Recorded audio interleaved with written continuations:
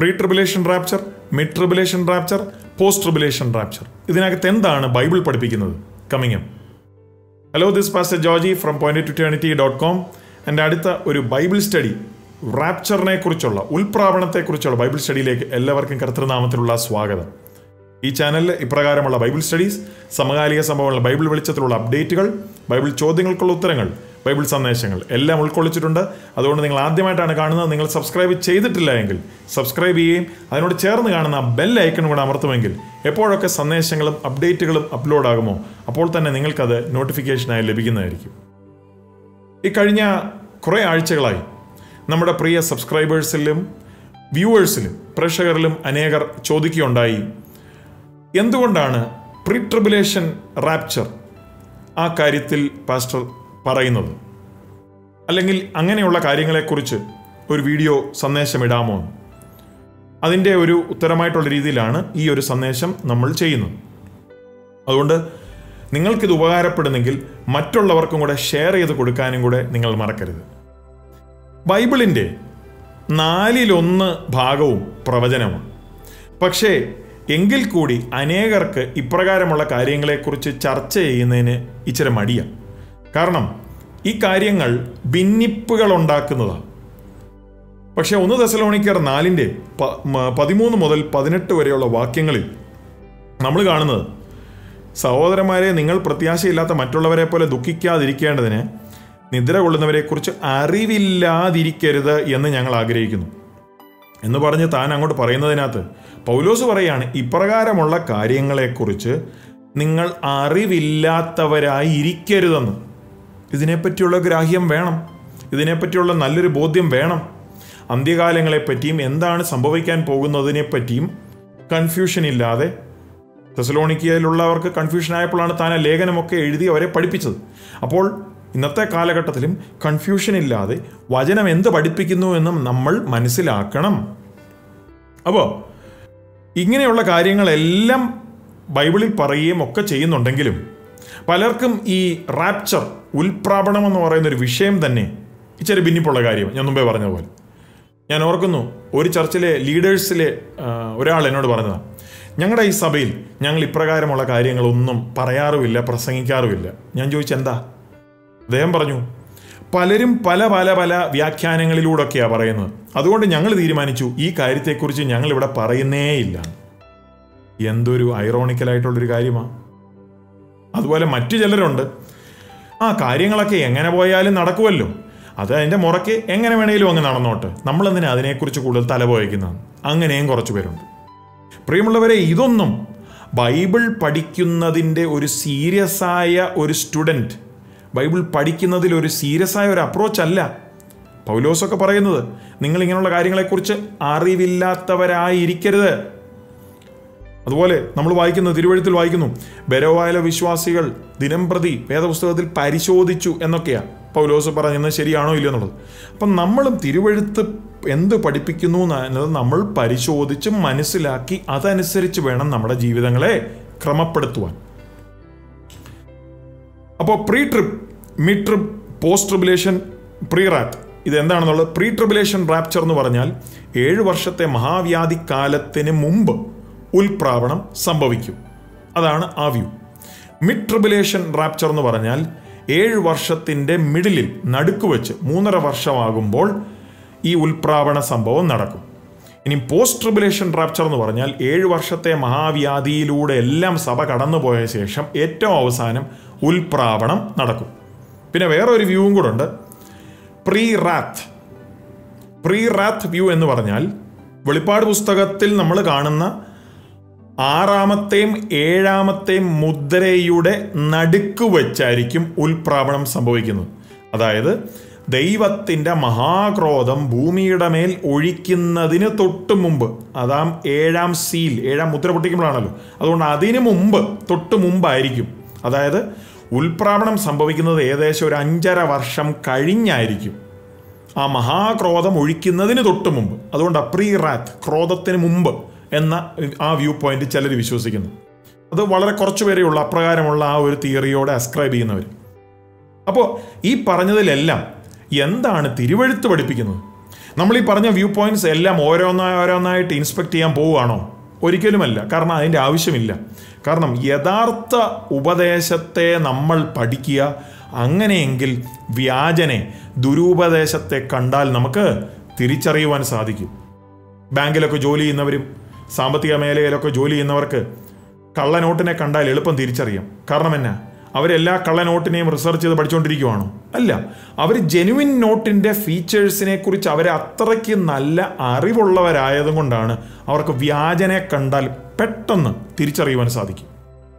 എന്നതുപോലെയാണ് നമ്മൾ എന്താണ് ബൈബിൾ പഠിപ്പിക്കുന്നത്? അതാണ് നമ്മൾ പഠിക്കാൻ പോകുന്നത്. ഞാനിത് തുടങ്ങുന്നതിന് മുമ്പ് ഞാൻ ഒരു കാര്യം കൂടെ പറയാം.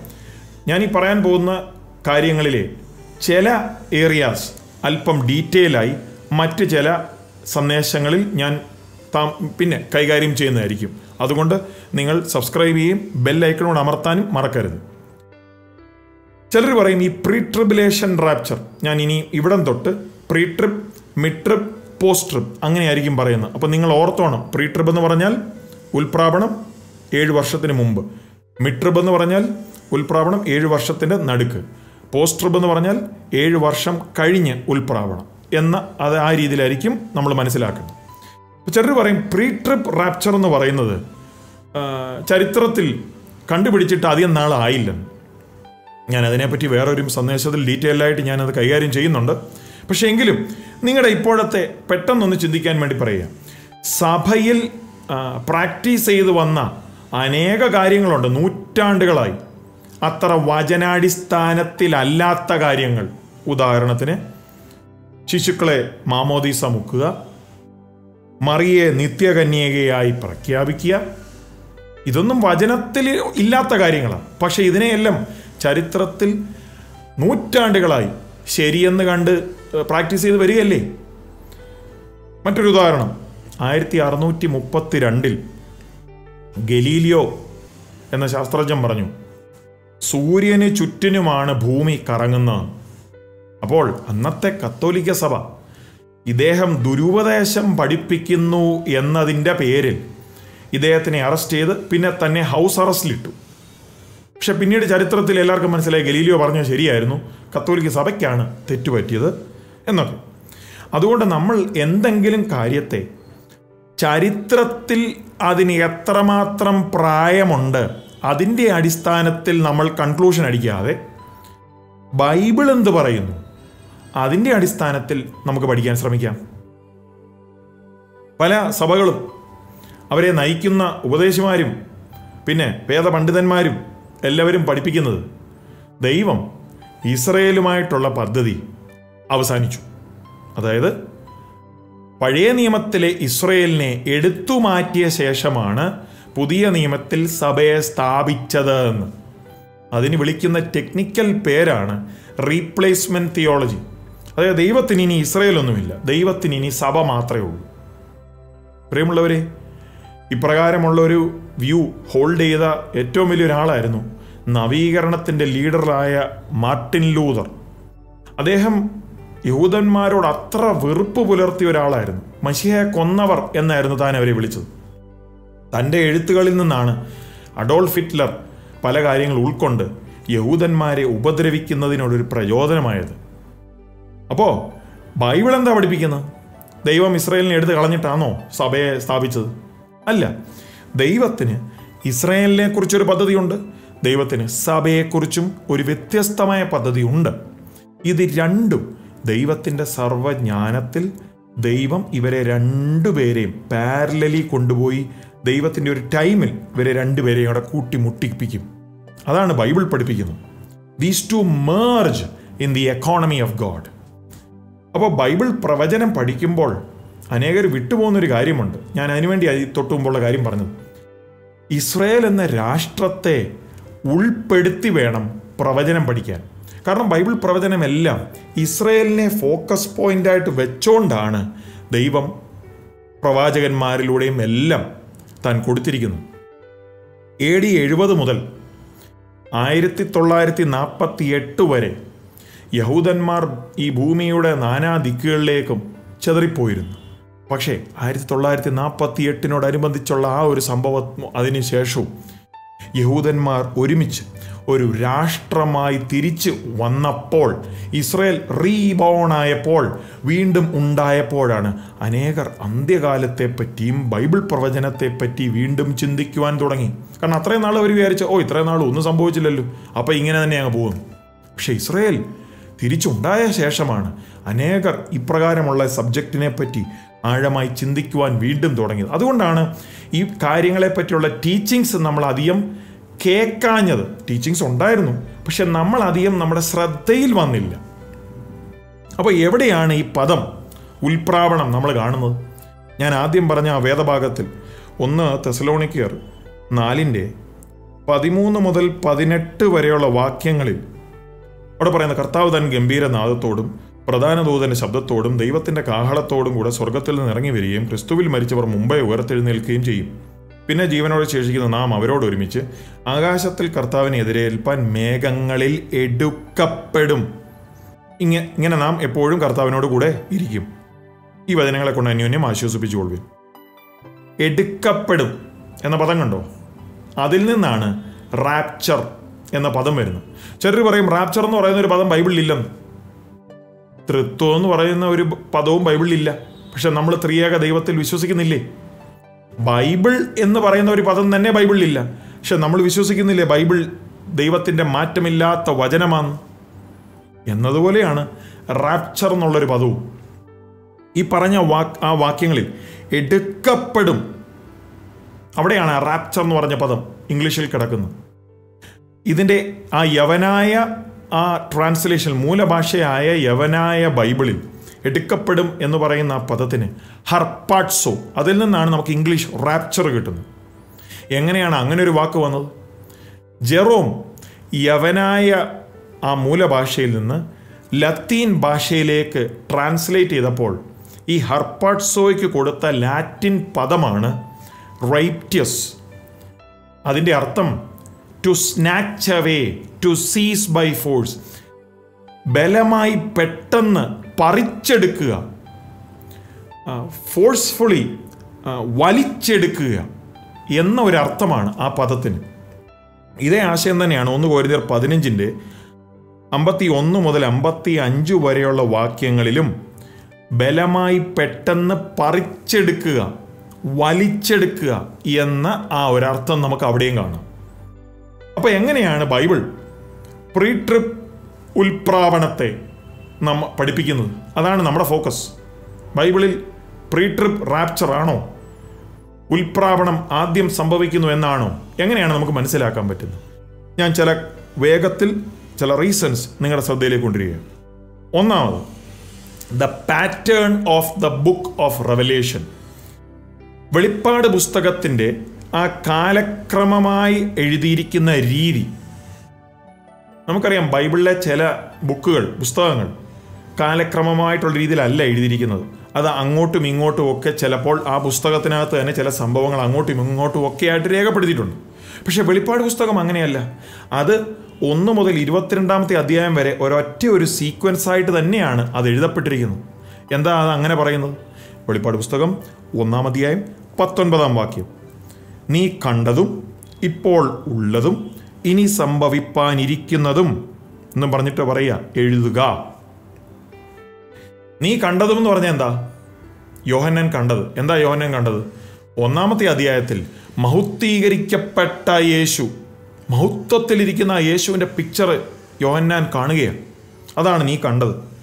ഇപ്പോൾ ഉള്ളതെന്ന് പറഞ്ഞാൽ വെളിപ്പാട് പുസ്തകം രണ്ട് മൂന്നാമത്തെ അധ്യായങ്ങളിൽ ഏഴ് സഭകൾക്കുള്ള ദൂത് അതാണ് ഇപ്പോൾ ഉള്ളത്. സഭയുടെ കാലഘട്ടത്തിൽ ഉള്ള ആ സന്ദേശമായി കൊടുത്തിരിക്കുന്നത് ഇപ്പോൾ ഉള്ളത്. ഇനി സംഭവിക്കാനുള്ളത്. അതേതാ? നാല് തൊട്ട് അങ്ങോട്ടുള്ള അധ്യായങ്ങൾ മുഴുവനും ഇനി സംഭവിക്കാനുള്ളത്. ഇങ്ങനെ ഒരു വേർതിരിവ് ഈ വെളിപ്പാട് പുസ്തകത്തിന്റെ ഉള്ളിൽ തന്നെ കർത്താവ് തന്നെ കൊടുത്തിട്ടുണ്ട്.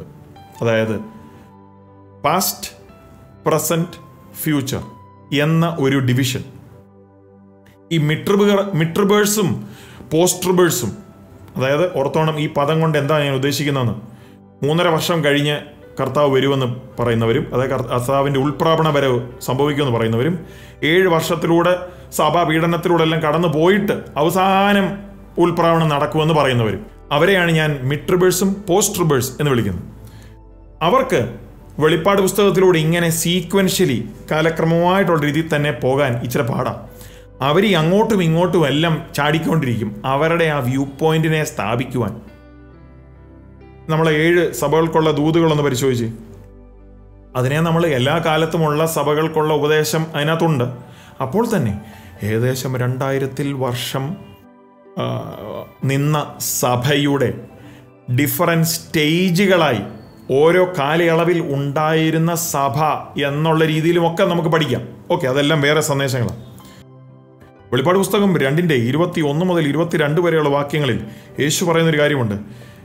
തുയാത്തേരയിലെ സഭ മാനസാന്തരപ്പെട്ടില്ല എങ്കിൽ അവരെ മഹാവ്യാധി കാലത്തേക്ക് തള്ളിയിടും. കേട്ടോ മാനസാന്തരപ്പെട്ടില്ലെങ്കിൽ അങ്ങനെ സഭ മഹാവ്യാധി കാലത്തേക്ക് തള്ളപ്പെടാൻ സാധ്യതയുണ്ടെന്ന് യേശുവ പറയുന്നു. ഇന്ന് അനേക സഭകളുണ്ട്. രക്ഷയുടെ അടിസ്ഥാന ഉപദേശത്വത്തിൽ തന്നെ മൈലുകളോളം മാറിപ്പോയിരിക്കുന്നു. അവർക്ക് തിരിച്ചു വരാൻ പറ്റാത്ത വിധത്തിൽ അത്രമാത്രം വചനത്തിൽ ഇല്ലാത്ത കാര്യങ്ങളും വേണ്ടാത്ത ദുരാചാരങ്ങളും വേണ്ടാത്ത ഉപദേശങ്ങളും എല്ലാം പഠിച്ചും പഠിപ്പിച്ചും ഒരു പരുവായിരിക്കുക. പ്രിയരെ വെളിപ്പാട് പുസ്തകം മൂന്നിന്റെ പത്തും കൂടെ നോക്കി. ഫിലഡൽഫിയയിലെ സഭയോട് പറയുക നീ എന്റെ കൽപ്പന ഒക്കെ പ്രമാണിച്ചതുകൊണ്ട് ഭൂമിയിൽ വസിക്കുന്നവരെ പരീക്ഷിക്കേണ്ടതിന് ഭൂതലത്തിലെങ്ങും വരുവാനുള്ള പരീക്ഷാകാലത്ത് ഞാൻ നിന്നെ കാക്കുമെന്ന്. ഇവിടെ മലയാളത്തിൽ നമ്മൾ വിചാരിക്കും ആ കാക്കും. പക്ഷേ മൂലഭാഷയിൽ എക് എന്നൊരു പദമാണ് അതായത് കംപ്ലീറ്റ് ആയിട്ട് ഭൂ ഈ ഭൂമിയുടെ മേൽ വരുവാനുള്ള പരീക്ഷാകാലത്തിൽ നിന്ന് കംപ്ലീറ്റ് ആയിട്ട് നിന്നെ ഞാൻ എടുത്തു മാറ്റും എന്ന ഒരു പദപ്രയോഗമാണ് എക് എന്ന യവനായ പദം കൊണ്ട് ഉദ്ദേശിക്കുന്നത്. ഔട്ട് ഓഫ് അതിൽ നിന്ന് കംപ്ലീറ്റ് ആയി എടുത്തു മാറ്റും. ആ പദത്തിന്റെ അർത്ഥം കഷ്ടത്തിലൂടെ പോകുമ്പോൾ അതിനകത്ത് ഞാൻ നിന്നെ എന്റെ കൃപയാൽ നിറച്ചോളാം എന്നൊരർത്ഥമല്ല. ആ ഒരു കഷ്ടത്തിൽ നിന്ന് പൂർണമായ ഒരു വിടുതൽ പൂർണമായിട്ടുള്ള ഒരു രക്ഷപ്പെടുത്തൽ. അതാണ് അവിടെ ഉദ്ദേശിക്കുന്നത്. അതിനുശേഷം വെളിപ്പാട് പുസ്തകം നാലിന്റെ ഒന്നാമത്തെ വാക്യത്തിൽ വരുമ്പോൾ അനന്തരം എന്ന് പറഞ്ഞാൽ തുടങ്ങുന്നു. അതൊക്കെ നമുക്ക് മലയാളത്തിൽ അധികം അങ്ങോട്ട് മനസ്സിലാകത്തിൽ എന്താണ് അവിടെ ഒളിഞ്ഞു കിടക്കുന്നത്. യവനായ ഭാഷയിൽ മെറ്റ ടൗട്ട ആഫ്റ്റർ ദീസ് തിങ്സ് ഈ കാര്യങ്ങൾക്ക് ശേഷം എന്നൊരു പദമാണ് ഉപയോഗിച്ചിരിക്കുന്നത്. ഇതേ പദം തന്നെയാണ് വെളിപ്പാട് ഒന്നിന്റെ പത്തൊൻപതിൽ. നീ കണ്ടത്? ഇപ്പോൾ ഉള്ളത്? ഇത് കഴിഞ്ഞ് സംഭവിക്കാനുള്ളത് എന്ന് പറയുന്ന അവിടെയും ഇതേ പദം തന്നെയാണ് മെറ്റാറ്റൗട്ട അതായത് ഇത് കഴിഞ്ഞ് സംഭവിക്കാനുള്ളത്. അപ്പോൾ ഓർത്തോണം അത് മുൻപോട്ടുള്ള ഒരു കാര്യത്തെ സൂചിപ്പിക്കുന്ന ഒരു ടൈമാണ് അതുപോലെ നാലിന്റെ ഒന്നിൽ കാണുന്ന കാഹളനാദം പോലെ എന്നോട് സംസാരിച്ച് കേട്ട ആദ്യത്തെ ശബ്ദം. ഇതേ കാഹളം തന്നെയല്ലേ ഒന്ന് തെസലോണിക്കർ നാലിന്റെ പതിനാറിലും നമ്മൾ കാണുന്നത്. പിന്നെ വെളിപ്പാട് നാലിൽ യോഹന്നാൻ കാണുന്നത് ദൈവത്തിന്റെ സിംഹാസനം. ഇരുപത്തിനാല് മൂപ്പന്മാർ. അഞ്ചാം അധ്യായം ഒൻപതും പത്തും വാക്യങ്ങളിൽ പറയുന്നു നിന്റെ രക്തം കൊണ്ട് സർവഗോത്രത്തിലും ഭാഷയിലും വംശത്തിലും ജാതിയിലും നിന്നുള്ളവരെ ദൈവത്തിനായി വിലയ്ക്ക് വാങ്ങി. അവരെ രാജ്യവും പുരോഹിതന്മാരും ആക്കി വെച്ചു. ഇതാരായി? അവരെ അവരെ ആക്കി വെച്ചു. നിന്നുള്ളവരെ ദൈവത്തിനായി വിലയ്ക്ക് വാങ്ങി. ആരായി? അവർ. കർത്താവായ യേശുവിന്റെ രക്തത്താൽ വിലയ്ക്ക് മേടിച്ച സഭ. അതിന്റെ അർത്ഥം നാലിന്റെ ഒന്നിൽ തന്നെ സഭ ഇവിടുന്ന് ഉൽപ്രാവണത്തിൽ പോയി കഴിഞ്ഞു. അപ്പോൾ യോഹന്നാൻ യേശുവിനെയും സഭയും വെളിപ്പാട് നാലാമത്തെ അധ്യായം അഞ്ചാമത്തെ അധ്യായത്തിൽ കാണുന്നുണ്ട്. അപ്പോൾ തന്നെ വെളിപ്പാട് നാല് മുതലുള്ള അധ്യായങ്ങൾ നാല് മുതൽ പതിനെട്ട് വരെയുള്ള അധ്യായങ്ങളിൽ ഈ ഭൂമിയിൽ മഹാവ്യാധിക്കാലം നടക്കുമ്പോൾ സഭയെ ഒരു പ്രാവശ്യം പോലും കാണുന്നുമില്ല. അമേൻ ഇതൊക്കെ ആണെങ്കിലും ചിലർ പറയും എങ്കിലും മഹാവ്യാധിക്കാലത്ത് നമ്മൾ വെളിപ്പാട് പുസ്തകത്തിൽ വായിക്കുന്നുണ്ടല്ലോ അനേകർ രക്ഷിക്കപ്പെടുന്നല്ലോ. അവരാരാണ്? ശരിയാ അനേകർ രക്ഷിക്കപ്പെടുന്നുണ്ട് പക്ഷെ അത് ക്രിസ്തുവിന്റെ മണവാട്ടി സഭയല്ല. അവിടെ രക്ഷിക്കപ്പെടുന്നവർ ട്രിബുലേഷൻ സെയിൻസ് എന്ന് വിളിക്കും. മഹാവ്യാധി കാലത്ത് രക്ഷിക്കപ്പെടുന്ന വിശുദ്ധന്മാർ എന്നാണ് വിളിക്കുന്നത്. പ്രിയമുള്ളവരെ ആ മഹാവ്യാധിയുടെ സമയത്തും ആയിരക്കണക്കിന് ആളുകൾ യേശുവിനെ രക്ഷിതാവായിട്ട് സ്വീകരിക്കും. പക്ഷെ അവരവരുടെ വിശ്വാസത്തെ തെളിയിക്കേണ്ടത് അവരുടെ ജീവൻ കൊടുത്ത് രക്തസാക്ഷിത്വ മരണം കൈവരിച്ചാണ് അവരുടെ ആ വിശ്വാസത്തിന് വേണ്ടി അവർ നിലനിൽക്കുന്നത്. അതാണ് ബൈബിൾ പഠിപ്പിക്കുന്നത്. അപ്പോൾ ഓർക്കണം ആ സമയത്ത് മൃഗത്തിന് മുദ്രയില്ലെങ്കിൽ വാങ്ങുവാനോ വിൽക്കുവാനോ ഒന്നും സാധിക്കുകയില്ല. അപ്പോൾ ഒരു വിശ്വാസി ആ സമയത്ത് മൃഗത്തിന് മുദ്ര എടുക്കണ്ട എന്നും പറഞ്ഞ് മാറി നിൽക്കുമ്പോൾ എതിർ ക്രിസ്തു അവനെ കൊല്ലും. അങ്ങനെയാണ് യേശുവിനോടുള്ള ആ ഒരു അലീജിയൻസ് ആ ആരാധന അവൻ തെളിയിച്ചു കാണിക്കുന്നത് ഈ വിശ്വാസി. ചിലർ ഒരു വലിയ മണ്ടത്തരം കാണിച്ചു. വാക്സിനൊക്കെ വന്നപ്പോൾ അത് മൃഗത്തിന്റെ മുദ്രയാണ് എന്നൊക്കെ പറഞ്ഞുകൊണ്ട് അലറി കൂവി പലരും യൂട്യൂബിലും പല മാധ്യമങ്ങളിലും ഒക്കെ പല പല കാര്യങ്ങൾ പ്രചരിപ്പിച്ചു. ഞാൻ അതിനെപ്പറ്റി സെപ്പറേറ്റ് ആയിട്ടൊരു വീഡിയോ ചെയ്തിട്ടുണ്ട്. മൃഗത്തിന്റെ മുദ്രയാണോ വാക്സിൻ? അതിന്റെ ലിങ്ക് താഴെ ഡിസ്ക്രിപ്ഷനിൽ കൊടുത്തിട്ടുണ്ട്. ഈ വീഡിയോ കണ്ട ശേഷം നിങ്ങൾ അത് കാണണം. നിങ്ങൾക്ക് അത് കണ്ട് മനസ്സിലാക്കാൻ താല്പര്യമുണ്ടെങ്കിൽ എന്തുകൊണ്ട് വാക്സിൻ മൃഗത്തിന്റെ മുദ്രയല്ല എന്നുള്ളത് നിങ്ങൾക്ക് മനസ്സിലാക്കുവാൻ സാധിക്കും? അപ്പം ഒന്നാമത്തെ കാര്യം എന്തായിരുന്നു? വെളിപ്പാട് പുസ്തകത്തിന്റെ ആ പാറ്റേൺ ആ കാലക്രമമായി എഴുതിയിരിക്കുന്ന രീതിയിൽ നിന്ന് തന്നെ ഉൽപ്രാവണം ഏഴു വർഷത്തെ മഹാവ്യാധിക്ക് മുമ്പാണ് നടക്കേണ്ടത് എന്ന് മനസ്സിലാക്കാൻ പറ്റും. ഇനി രണ്ടാമത് ബൈബിളിലെ ടൈപ്സ് ഉദാഹരണങ്ങൾ. നമ്മൾ ഈനോക്കിനെ നോക്കി ഈനോക്കിനെ പറ്റി പറയുന്നത് ഉൽപ്പത്തി പുസ്തകം അഞ്ചിന്റെ ഇരുപത്തിനാലിലും എബ്രായർ പതിനൊന്നിന്റെ അഞ്ചിലും ഒക്കെ പറയുന്നത് ഈനോക്കിനെ ദൈവം എടുത്തോണ്ട് പോയി. അതുപോലെ നോവ മത്ത ഇരുപത്തിനാലിന്റെ മുപ്പത്താറ് മുതൽ നാൽപ്പത്തിരണ്ട് വരെയുള്ള വാക്യങ്ങൾ യേശു തന്നെ പറയുന്നുണ്ട് നോയുടെ സമയത്ത് എല്ലാവരും കെയർലെസ് ആയിട്ട് എങ്ങനെയെങ്കിലുമൊക്കെ ജീവിച്ചു. പക്ഷേ ആ ഒരു പ്രളയം വന്നപ്പോൾ എല്ലാവരെയും എടുത്തുകൊണ്ട് പോയി പോയി. പക്ഷേ ദൈവം അത്ഭുതകരമായി നോഹയും തന്റെ കുടുംബത്തെയും രക്ഷിച്ചു. അതുപോലെ സോതോമും ഗോമോറയെ നശിപ്പിക്കുന്നതിന് മുമ്പേ ലോത്തിനെ അവിടെ നിന്ന് ദൈവം വലിച്ചെടുക്കുക രണ്ട് പത്രോസ് രണ്ടിന്റെ ആറ് മുതൽ ഒൻപത് വരെയുള്ള വാക്യങ്ങളിൽ സോതോം ഗൊമോറ എന്ന പട്ടണങ്ങളെ ഇടയിൽ വസിച്ചിരിക്കുമ്പോൾ ലോത്തിനെ വിടുവിക്കുകയും ചെയ്തു. കർത്താവ് ഭക്തന്മാരെ പരീക്ഷയിൽ നിന്ന് വിടുവിപ്പാനും അറിയുന്നുവല്ലോ. അവിടെയെല്ലാം പരീക്ഷയിൽ നിന്ന് വിടുവിപ്പാൻ എന്ന് പറയുന്ന ഒരു പദത്തിനും ഞാൻ മുമ്പേ പറഞ്ഞ യവനായ പദമാ എക്. എന്ന് വെച്ചാൽ വലിയ പീഡ വരുമ്പോൾ അതിൽ നിന്ന് അല്ലെ കഷ്ടം വരുമ്പോൾ അതിൽ നിന്ന് മുഴുവനുമായും എടുത്തു മാറ്റുന്ന ഒരു ദൈവത്തിന്റെ ഇടപെടൽ. കംപ്ലീറ്റ് ആയിട്ട് എടുത്തു മാറ്റുന്ന അപ്പം ഇവിടെയെല്ലാം നമ്മൾ കാണുന്ന ഒരു വസ്തുത.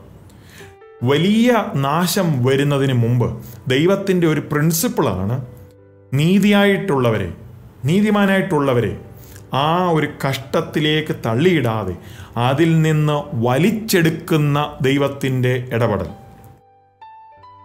മൂന്നാമത്തെ ഒരു കാരണം. നമ്മളെ ക്രോധത്തിനായിട്ടല്ല നിയമിച്ചിരിക്കുന്നത്. ഒന്ന് തെസലോണിക്കർ അഞ്ചിന്റെ ഒൻപത് മുതൽ പതിനൊന്ന് വരെയുള്ള വാക്യങ്ങളിൽ നമ്മൾ കാണുന്നു ദൈവം നമ്മെ കോപത്തിനല്ല നാം ഉണർന്നിരുന്നാലും ഉറങ്ങിയാലും തന്നോടുകൂടെ ജീവിക്കേണ്ടതിന് നമുക്ക് വേണ്ടി മരിച്ച നമ്മുടെ കർത്താവ് യേശുക്രിസ്തു മൂലം രക്ഷയെ പ്രാപിപ്പാൻ അത്രേ നിയമിച്ചിരിക്കുന്നത്. പ്രിയമുള്ളവരെ ക്രോധം എന്ന് പറഞ്ഞാൽ ദൈവം ഭൂമിയുടെ മേൽ ഒഴിക്കുന്ന ആ ക്രോധം മഹാവ്യാധിക്കാലം കഷ്ടത ഭയങ്കര കഷ്ടത. കർത്താവ് തന്നെ പറഞ്ഞ പോലെ ഇത്രയും നാൾ അപ്രകാരമുള്ള ഒരു കഷ്ടത കണ്ടിട്ടുമില്ല. ഇനിയും ഒരിക്കലും അപ്രകാരമുള്ള ഒരു കഷ്ടത കാണുകയുമില്ല. അത്ര ഇന്റൻസ് ആയിട്ടുള്ള ആ കഷ്ടതയാണ് ദൈവത്തിന്റെ ക്രോധം എന്ന് പറയുന്നത്. അപ്പോൾ നമ്മൾ വായിച്ചത് ദൈവം നമ്മളെ കോപത്തിനല്ല അവിടെ യഥാർത്ഥ പദം മൂലഭാഷയിൽ യവനായ ഭാഷയിൽ ക്രോധം എന്നാണ്. അതിനല്ല പക്ഷേ നമ്മളെ യേശുക്രിസ്തു മൂലം രക്ഷയെ പ്രാപിപ്പാൻ നമ്മളെ അതിന്റെ പൂർത്തീകരണത്തിന് വേണ്ടിയാണ് നമ്മളെ നിയമിച്ചിരിക്കുന്നത്. വെളിപ്പാട് ആറിന്റെ പതിനേഴിൽ പറയുന്നു. കുഞ്ഞാടിനെ പറ്റിയൊക്കെ പറയുന്നിടത്താണ് പറയുന്നത്. അവരുടെ മഹാകോപ ദിവസം വന്നു. ഇത് ആർക്കു വേണ്ടിയുള്ളതാണ് ഈ ക്രോധത്തിന്റെ ഈ സമയം? ലോകത്തിൽ എല്ലാവരുടെ മേലും ഒഴിക്കപ്പെടുന്ന ആന്നേലും വ്യക്തമായി ബൈബിൾ പഠിപ്പിക്കുന്നു. ഇരമ്യ മുപ്പത്തിന്റെ ഏഴാമത്തെ വാക്യത്തിൽ ഇത് യാക്കോബിന് കഷ്ടകാലമാണ്. ഇത് ഇസ്രയേൽ മക്കളെ ദൈവം വ്യക്തമായി ഇസ്രയേൽ എന്ന രാഷ്ട്രവുമായി വ്യക്തിപരമായി ഡീൽ ചെയ്യുന്ന ഒരു സമയമാണ് ആ കാലയളവ് ആ ഏഴ് വർഷത്തെ കാലയളവ്. ഒന്ന് ദശലോണിക്കർ ഒന്നിന്റെ പത്തിലും പറയുന്നത് വരുവാനുള്ള കോപത്തിൽ നിന്ന് കണ്ടോ? വരുവാനുള്ള ക്രോധം എന്ന എന്റെ യഥാർത്ഥ ഭാഷയിൽ മൂലഭാഷയിൽ. വരുവാനുള്ള ക്രോധത്തിൽ നിന്ന് നമ്മെ വിടുവിക്കുന്നവനുമായ യേശു സ്വർഗത്തിൽ നിന്ന് വരുന്നത് കാത്തിരിപ്പാനും എന്ന് പറഞ്ഞ് അങ്ങോട്ട് പോവാം. അവിടെയും വിടുവിക്കുക എന്ന് പറയുന്ന പദത്തിന് അവിടെ ഉപയോഗിച്ചിരിക്കുന്ന പദപ്രയോഗം എക് വരുവാനുള്ള ക്രോധം മഹാകഷ്ണത അതിൽ നിന്ന് മുഴുവനുമായും നമ്മളെ വിടുവിക്കുന്നവനായ യേശു. അല്ലാതെ അതിലൂടെ കടത്തി വിട്ടേച്ച് എങ്ങനെയെങ്കിലും കൊണ്ടുപോകുന്നില്ല. മുഴുവനുമായും അതിൽ നിന്ന് നമ്മളെ വിടുവിക്കും. ഇതാണ് ബൈബിൾ പഠിപ്പിക്കുന്നത്. അതുകൊണ്ട് ഞാൻ പറഞ്ഞത് നമ്മളെ നിയമിച്ചിരിക്കുന്നത് ക്രോധത്തിനല്ല പക്ഷെ രക്ഷയുടെ പൂർത്തീകരണത്തിനാണ്. നാല്. എന്തുകൊണ്ടാണ് നമ്മൾ പ്രീ ട്രിപ്പ് റാപ്ചർ ആണ് വചനാടിസ്ഥാനം എന്ന് പറയുന്നത്? റാപ്ചർ ഉൽപ്രാപണത്തിന്റെ ഉദ്ദേശം തന്നെ എന്താണ്? അതാണ് ചിന്തിക്കേണ്ടത്. സി പോസ്റ്റ് ട്രിബേഴ്സ് പറയും ഉൽപ്രാപണം മഹാവ്യാധിക്കാലം കഴിഞ്ഞാണ് സംഭവിക്കുന്നത്. അതിൽ അവർ പറയുന്നതാണേ സഭ മേലോട്ട് പൊങ്ങും. ക്രിസ്തുവിൽ മരിച്ചവരെ എല്ലാവരെയും കൂടെ ഒരുമിച്ച് കർത്താവ് യേശുവിനെ മധ്യാകാശത്തിൽ കാണും. അത് കഴിഞ്ഞ് പെട്ടെന്ന് താഴോട്ട് ഇറങ്ങി വരും. അവർ വെളിപ്പാട് പുസ്തകം പത്തൊൻപതിലെ ചില വാക്യങ്ങൾ എടുത്താണ് അവർ ഇപ്രകാരം പറയാൻ ശ്രമിക്കുന്നത്. പക്ഷെ ഞാൻ ചോദിക്കുന്നത് എന്തിനാണ് ഉൽപ്രാപണം ഇങ്ങനെ അങ്ങോട്ട് പൊങ്ങിയിട്ട് നേരെ താഴോട്ട് വന്നു.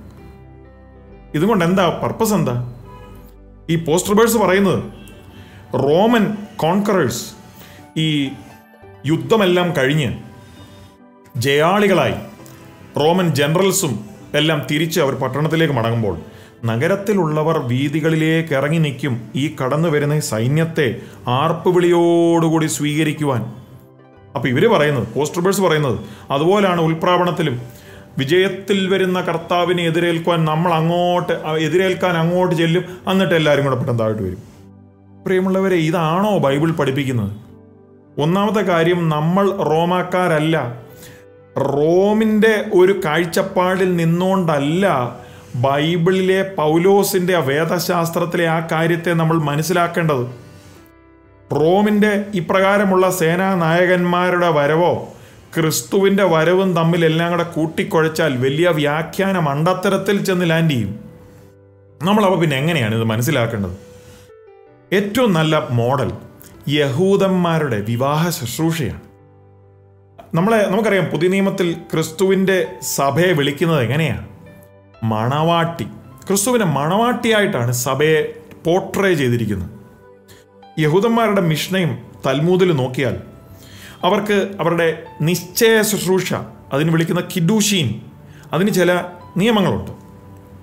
ആ ബ്രൈഡ് ഗ്രൂം വരൻ അവന്റെ പിതാവിന്റെ ഭവനത്തിൽ നിന്ന് വധുവിന്റെ വീട്ടിൽ വന്ന് വധുവിനുള്ള ഒരു ബ്രൈഡ് പ്രൈസ് സ്ത്രീധനം പോലുള്ള ഒരു ഒരു പ്രൈസ് അങ്ങോട്ട് കൊടുത്താണ് ഈ നിശ്ചയമൊക്കെ ഉറപ്പിക്കുന്നു. നമ്മുടെ വാഴ്ത്തപ്പെട്ട കർത്താവ് എന്ത് കൊടുത്താണ് നമ്മളെ മേടിച്ചത്? അവന്റെ സ്വന്തം രക്തം കൊടുത്ത് നമ്മളെ വിലക്ക് മേടിച്ചു. എന്നിട്ട് ഈ വരൻ ഒരു ടോക്കൺ എമൗണ്ട് പോലെ ഒരു വിവാഹ മോതിരം ആ വധുവിന് കൈമാറും. നമ്മുടെ കർത്താവായ യേശു നമുക്ക് ടോക്കണായി നൽകിയത് എന്താ? അവന്റെ പരിശുദ്ധാത്മാവ്. എന്നിട്ട് ഈ നിശ്ചയ ശുശ്രൂഷ ഒരു സദ്യയോടാണ് അവസാനിക്കുന്നത്. അവിടെ അവർ എല്ലാവരും ഒരുമിച്ച് വീഞ്ഞ് അതിൽ നിന്ന് അത് അത് അത് പാനം ചെയ്യും. നമ്മൾ കർത്തൃമേശ അനുഷ്ഠിക്കുമ്പോൾ നമ്മൾ ഓർത്ത് നന്ദി പറയുക കർത്താവായ യേശു ക്രൂശൽ നമുക്ക് വേണ്ടി എന്താണ് ചെയ്തതെന്നോർത്ത്. എന്തൊരു പാരലലിസമാണ് അവിടെ.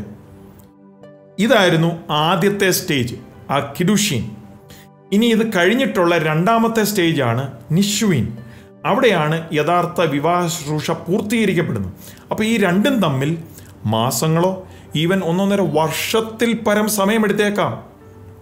അത്രയും കാലയളവിൽ നമ്മൾ ബൈബിളിലെ ആ പദപ്രയോഗങ്ങൾ വെച്ച് നമ്മൾ നോക്കുകയാണെങ്കിൽ വരൻ പിതാവിന്റെ സ്ഥലത്ത് പോയി ഭവനത്തിൽ പോയി വധുവിന് വരുവാനായിട്ടുള്ള രീതിയിൽ അല്ലെ അവളെ കൊണ്ടുവരുന്നതിന് മുമ്പ് വരൻ അവിടെ ഒരു സ്ഥലം ഒരുക്കണം. അതിനുവേണ്ടി പോയിരിക്കുക. അവൻ വർക്ക് ചെയ്ത് വർക്ക് ചെയ്ത് എപ്പോഴാണ് നിർത്തേണ്ടത്? അവന്റെ പിതാവാണ് കണ്ടിട്ട് പറയും ഓക്കെ എല്ലാ പ്രിപ്പറേഷൻസും കഴിഞ്ഞു. ഇനിയും നീ പോയി നിശ്ചയിച്ചിരിക്കുന്ന രീതിയിൽ നിന്റെ ആ ഭാര്യയെ കൂട്ടിക്കൊണ്ടുവരിക എന്ന് പിതാവാണ് ഓർഡർ കൊടുക്കുന്നത്. ആ സമയത്താണ് വലിയ ഒരു ഘോഷയാത്രയും വരൻ വധുവിന്റെ ഭവനത്തിൽ വന്ന് വധുവിന്റെ ഭവനത്തിൽ നിന്ന് ഈ വധുവിനെ വരന്റെ ഭവനത്തിലേക്ക് കൊണ്ടുപോകും. അപ്പം ഇത് നടക്കുന്നതിന്റെ ഈ രണ്ട് സ്റ്റേജ് നടക്കുന്നതിന്റെ ഈ ഒരു ലോങ് ഗ്യാപ്പിൽ വധുവിന് കെയർലെസ് ആയിട്ട് ഇരിക്കാനൊന്നും പറ്റില്ല.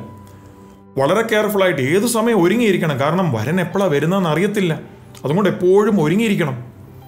അപ്പോൾ രണ്ടാമത്തെ സ്റ്റേജിന് വധുവിനെ കൊണ്ടുപോയ ശേഷം അവിടെ വെച്ചാണ് ഈ ഈ വെഡ്ഡിങ് സെറമണി വിവാഹ ശുശ്രൂഷ ഒഫീഷ്യലി നടത്തുന്നത്. എന്നിട്ട് ഏഴ് ദിവസത്തെ ഒരു ഉത്സവമാണ്.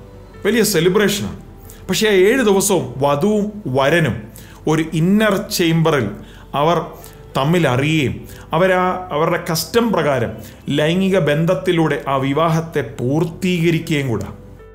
എന്തൊരു പാരലൽ എക്സാമ്പിളാണ് നമ്മുടെ വാഴ്ത്തപ്പെട്ട കർത്താവ് അവന്റെ മണവാട്ടിയായ ആ സഭയെ ചേർക്കുവാൻ വരുന്ന ഒരു സംഭവമാണ് ഉൽപ്രാവണം. ഉൽപ്രാവണത്തിൽ വന്ന് സഭയെ ചേർത്ത് ഒരുക്കി വെച്ചിരിക്കുന്ന വാസസ്ഥലത്തിലേക്ക് അവൻ കൊണ്ടുപോവുകയാണ്. അതാണ് ഉൽപ്രാവണത്തിൽ സംഭവിക്കുന്നത്.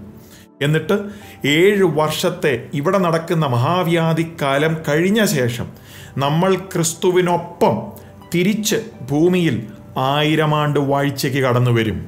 ഇതൊക്കെയാണ് ബൈബിൾ പഠിപ്പിക്കുന്നത്. കൊളോസിർഗ ലേഖനം മൂന്നിന്റെ നാലിൽ പറയുന്നു നമ്മുടെ ജീവനായ ക്രിസ്തു വെളിപ്പെടുമ്പോൾ നിങ്ങളും അവനോടുകൂടെ തേജസ്സിൽ വെളിപ്പെടും. തേജസ്സിൽ വെളിപ്പെടുമെന്ന. അല്ലാതെ ചതഞ്ഞരഞ്ഞ് ഒരു പരുവത്തിൽ എങ്ങനെയെങ്കിലുമൊക്കെ വെളിപ്പെടുമെന്നല്ല. അവൻ വെളിപ്പെടുമ്പോൾ കാരണം വെളിപ്പെടുമെന്ന് അവിടെ. ഈ ഉൽപ്രാവണം എന്ന് പറയുന്നത് ഒരു വരമല്ല.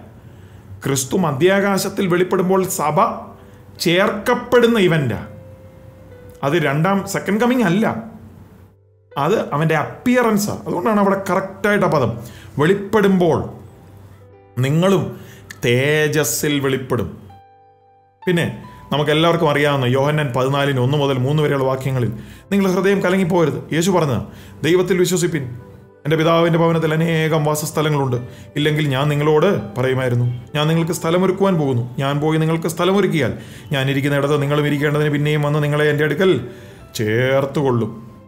അപ്പോൾ പ്രിയമുള്ളവരെ ഉൽപ്രാവണത്തിന്റെ ഉദ്ദേശമെന്ന് പറയുന്നത് തന്നെ ക്രിസ്തു വെളിപ്പെടുമ്പോൾ അവന് വേണ്ടി ഒരുങ്ങിയിരിക്കുന്ന സഭയെ ചേർത്തുകൊണ്ട് പിതാവിന്റെ വാസസ്ഥലത്ത് താൻ ഒരുക്കി വെച്ചിരിക്കുന്ന സ്ഥലത്തിലേക്ക് ചേർക്കുവാൻ വരുന്ന സംഭവമാണ് ഉൽപ്രാവണം.